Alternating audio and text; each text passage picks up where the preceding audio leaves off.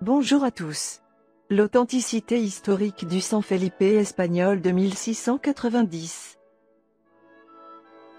Le San Felipe est l'un des navires les plus prisés parmi les maquettistes.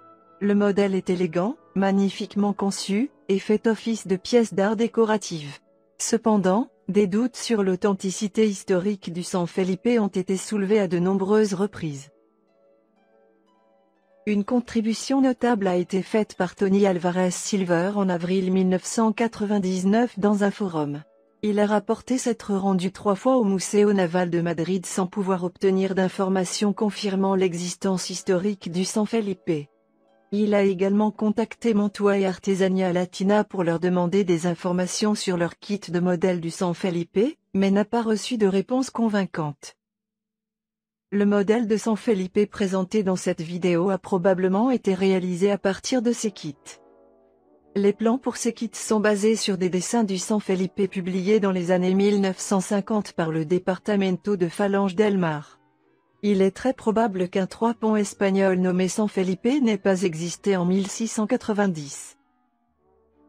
Comme l'a souligné Monsieur Levé, les plans et les kits de modèles de navires présentent des éléments de construction dans la coque et le gréement typique des navires espagnols de ligne autour de l'an 1700. Mais la question demeure, pourquoi les fabricants de kits ne se réfèrent-ils pas à un navire tel que la Nuestra Sonora de la Conception et de la Animas de 1688 Ce navire a existé et a été décrit en détail. Je voudrais citer les travaux du docteur Marcus Lieber, datés du 20 juillet 2009. Ces dernières années, il a étudié le contexte historique des deux ou trois premières décennies où les trois ponts ont été mis en service en Espagne. L'œuvre de Dr Lieber, Trois ponts espagnols vers 1700, offre des perspectives sur ces navires. De nombreux maquettistes sont fascinés par les trois ponts, lourdement armés et ornés de décorations complexes. Ces navires étaient des symboles de puissance, représentant leur nation et leur dynastie royale. Malheureusement, la littérature en anglais ou en allemand sur les trois ponts espagnols vers 1700 est rare, et elle n'est pas toujours précise. Les sources littéraires espagnoles et les discussions avec des historiens espagnols révèlent de nouvelles perspectives intéressantes sur ce sujet, notamment concernant la Nuestra Sonora de la Conception et de la Animas, construite en 1688. Le premier trois ponts attestés de la marine espagnole était le Nuestra Sonora de la Conception y de la Animas. La construction de ce navire a débuté en 1682 sous la direction du constructeur naval Don Antonio de Hama, au chantier naval de Calandrias. Le déplacement de ce navire aurait été d'environ 1500 tonnes. En 1687, José Antonio de Gastalneta, 1656-1728, visita le chantier pour examiner les progrès de cette nouvelle flotte amirale. En tant qu'amiral de l'armada espagnole, Gastalneta a eu une influence considérable sur la construction navale espagnole jusqu'au XVIIIe siècle. Son ouvrage Arte de Fabrica Reales, publié en 1691, contient des dessins détaillés de la Nuestra Sonora de la Conception et de la Animas, incluant une vue de la poupe, une vue latérale et un dessin détaillé de la galerie de la poupe. Le navire est représenté comme un trois-ponts de petite taille, sans château à vent élevé, portant entre 90 et 94 canons. Après son lancement en 1688, le navire fut transféré à Santander et achevé en mai 1690, avec l'installation des. Une peinture de Martin Amigo, un tableau à l'huile sur toile mesurant 210 par 135 cm, date de cette même année. Aujourd'hui, ce tableau se trouve dans l'église paroissiale Iglesia de la Asunción Arsenilla, dans la province de Zamora. La peinture est cohérente avec les dessins de Gastalneta. Les deux sources montrent que la Nuestra Sonora de la Conception et de la Animas a été conçue et construite comme un trois-ponts. Au Museo Naval de Madrid, il existe un modèle de la Nuestra Sonora de la Conception correspondant à ces sources historiques. Il est intéressant de comparer la section de la poupe dans la peinture de Martin Amigo avec des photos en haute résolution de la page correspondante dans le manuscrit de Gastalneta et la poupe du modèle. Ces sources contemporaines contredisent les affirmations selon lesquelles le Real Felipe de aurait été le premier trois-ponts espagnol. Peu de détails sont connus sur le service ultérieur de la Nuestra Sonora de la Conception et de la Animas.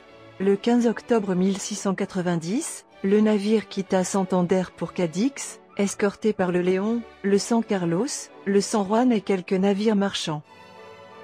Dans les années suivantes, il fut principalement utilisé à Cadix.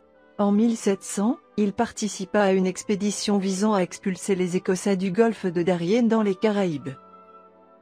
En 1702, il se trouvait à Cadix lorsque la ville fut assiégée par une escadre anglo-hollandaise durant la guerre de succession d'Espagne. Le navire était alors en mauvais état, si bien que ses canons furent retirés et utilisés sur d'autres navires de ligne. En 1705, le navire fut finalement démantelé à Cadix. Les photographies du modèle de la Nuestra Sonora de la conception du Museo Naval de Madrid sont disponibles via le lien dans la description de la vidéo. Le Real Felipe de 1732 a été nommé d'après Philippe V d'Espagne, le premier roi Bourbon d'Espagne, qui a défendu avec succès son trône contre les Habsbourg autrichiens lors de la guerre de succession d'Espagne.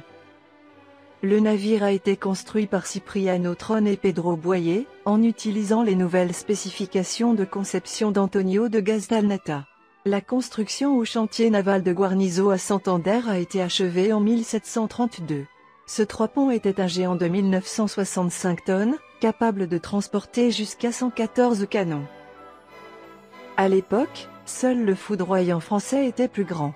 Dans un registre de 1740, la taille de l'équipage était listée à 1152 hommes. Le Real Felipe s'est avéré être un navire puissant avec une grande capacité de feu. Lors de la bataille de Toulon le 22 février 1744, il a été attaqué à plusieurs reprises par les navires britanniques. Selon des sources anglaises, il a repoussé toutes les attaques et s'est battu comme un démon. Cependant, les dégâts étaient si importants qu'il n'a jamais été entièrement réparé en raison des coûts élevés. Finalement, en 1750, il a été démoli. Le Real Felipe est considéré comme le plus grand et le plus beau navire de la flotte espagnole de l'époque. Étrangement, malgré cela, il n'existe aucune illustration contemporaine prouvée de lui. De nombreuses représentations existent dans des livres, des articles et sur Internet, mais elles sont toutes différentes et aucune n'est contemporaine. José Ignacio González Alejero, ancien conservateur du Museo Naval de Madrid, a fourni quelques informations sur ce sujet. Il a publié plusieurs livres sur la flotte espagnole et l'inventaire du Museo Naval. Dans ses publications Navio Real Felipe et El Navio de Trépuant en la Armada Española, il détaille minutieusement l'histoire du navire, suggérant qu'aucun dessin ou peinture contemporaine prouvée du Real Felipe n'existe. Même le dessin le plus célèbre manque de clarté sur sa date et son auteur. La première illustration connue du Real Felipe a été réalisée dans la seconde moitié du XVIIIe siècle par José Manuel de Morel et d'Ae Montero, qui est né en 1750, la même année où le navire a été démoli. En 1796, une série de gravures représentant la bataille de Toulon en 1744 a été réalisée par plusieurs artistes.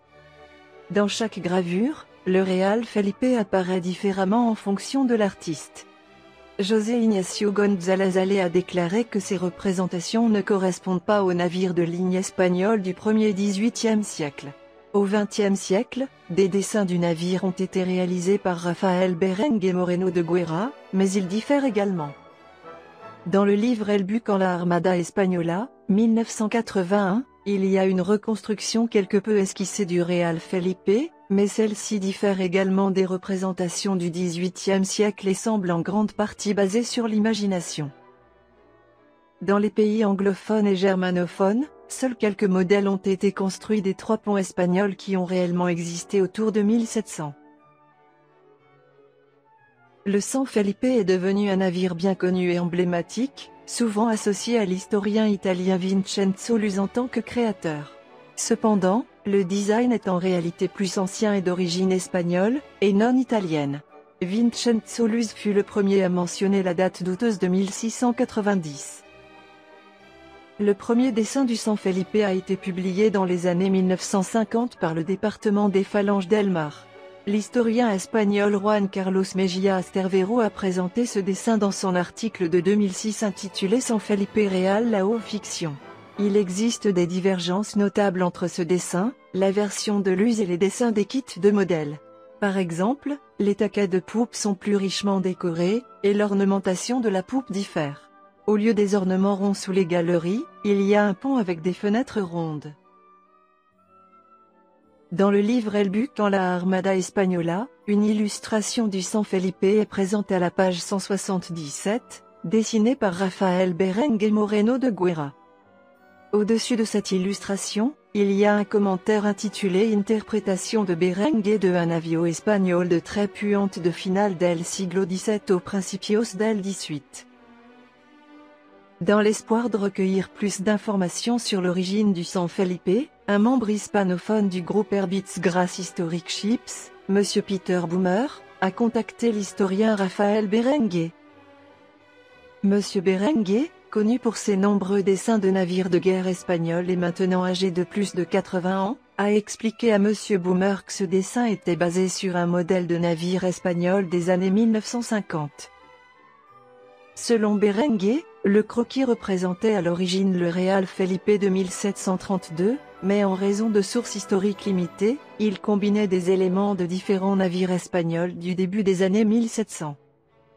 Ce lien entre le Real Felipe et le San Felipe apparaît plusieurs fois dans la littérature espagnole, où des modèles du San Felipe ont même été étiquetés comme étant le Real Felipe de 1732.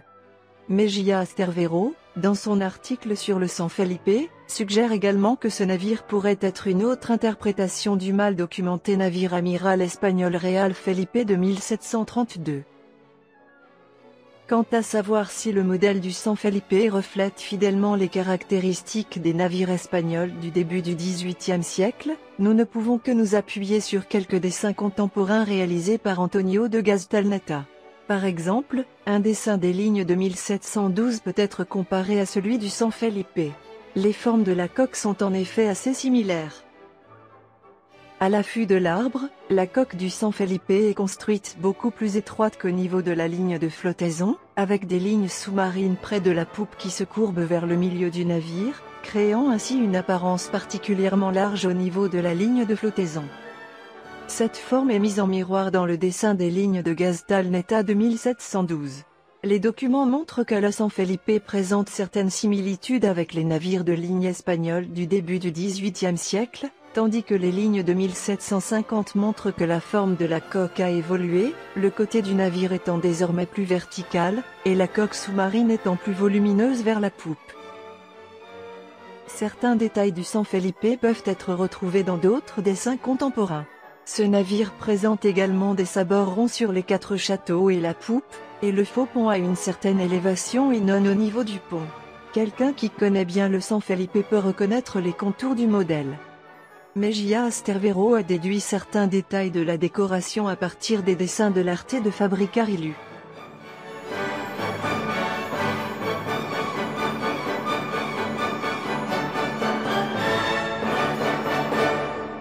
Merci pour avoir regardé.